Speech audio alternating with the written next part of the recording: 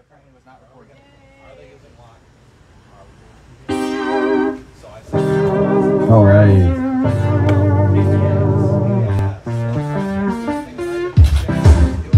That's your best. Positive behavior. Yeah, so I sent him an email asking if I Okay, stop. We don't want to give it away.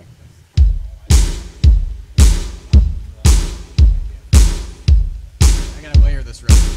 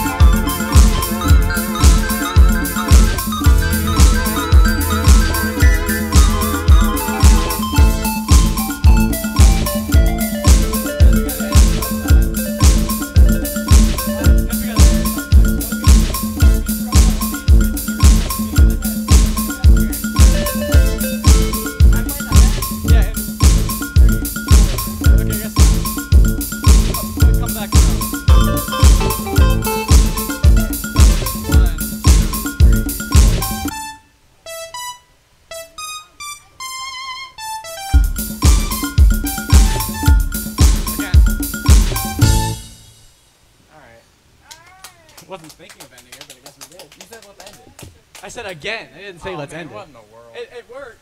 Okay, this is a slower one then. Hold on.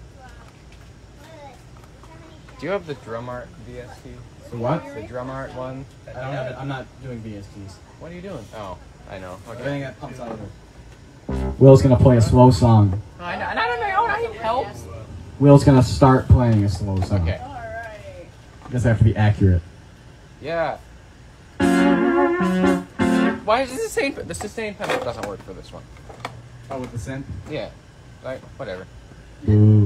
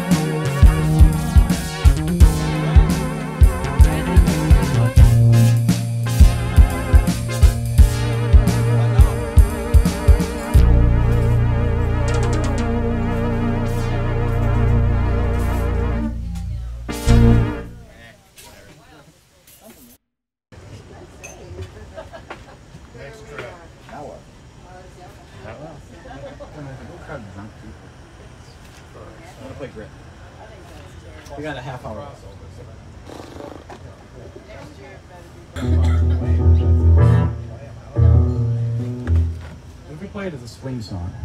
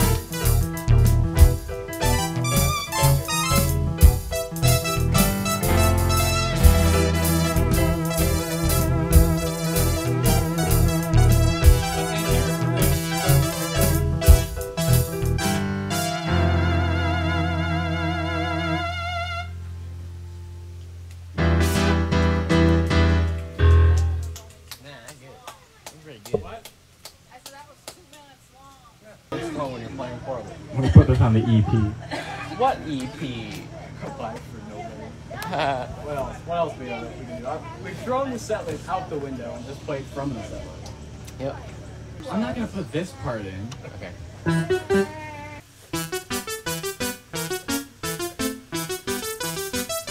All right, let's do that.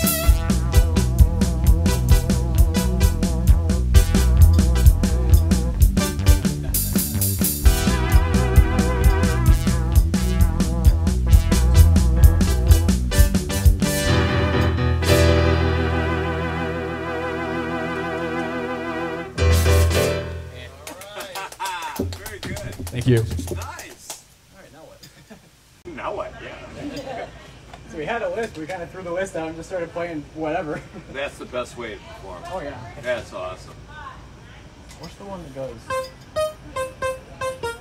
That's Axel F. You're not gonna. Yeah, do yeah, that. No way. Can we do that? Axel? I don't know the form. We can try. We can do something like it. We could. You can use the melody, and we'll probably get it wrong. Nobody cares. Yeah. Great. All right. Uh, I'll just play a drum beat, and we'll uh, see where that goes. Don't go too fast. Uh, you play it, and then I'll build on.